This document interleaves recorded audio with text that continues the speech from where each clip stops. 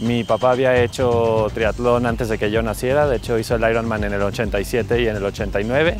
Y bueno, yo siempre vi las bicicletas colgadas en mi casa, veía que mi papá salía a correr en las mañanas. Yo un día dije, ah, pues yo quiero hacer triatlón también.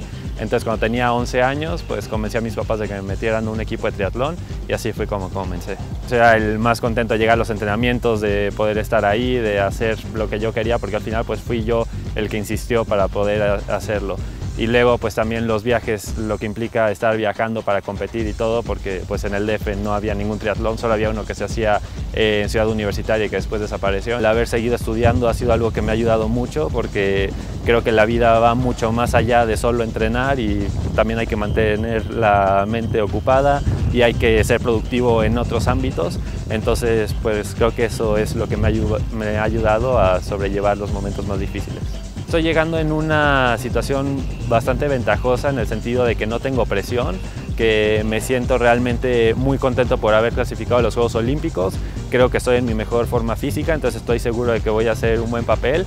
Y bueno, también la verdad es que la presión luego que se vive por parte de igual los medios de comunicación o los mismos entrenadores o toda la gente del medio pueden llevar a que los atletas estén más estresados de lo normal.